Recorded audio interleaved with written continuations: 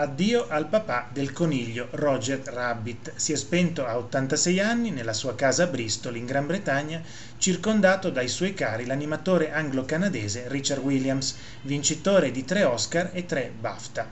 Aveva un tumore, ma come riferisce la figlia Natasha Sutton e Williams, ha lavorato senza sosta fino al giorno della sua morte, disegnando e animando. Nato a Toronto nel 1933, si era innamorato dell'animazione già a 5 anni, quando aveva visto il capolavoro Disney Biancaneve e i Sette Nani, come lui stesso aveva raccontato recentemente, dicendo da bambino ho sempre voluto andare alla Disney.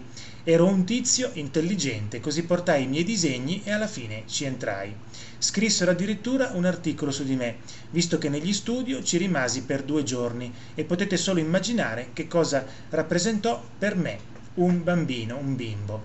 Arrivato negli anni 50 in Gran Bretagna, lavorò a Casino Royale del 1967, La Pantera Rosa colpisce ancora del 1975 e La Pantera Rosa sfida l'ispettore Clouseau del 1976.